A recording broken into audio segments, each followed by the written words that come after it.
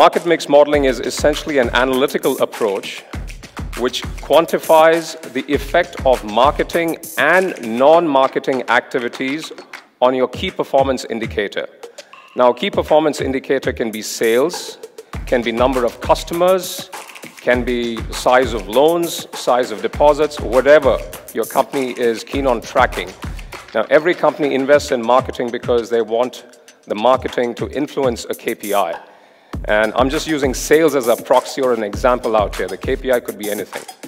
So again, it is an analytical approach which quantifies the effect of marketing and non-marketing activities on sales. Again, sales is an example, as well as estimates the ROI of each marketing activity. So that in a nutshell is what marketing mix modeling is.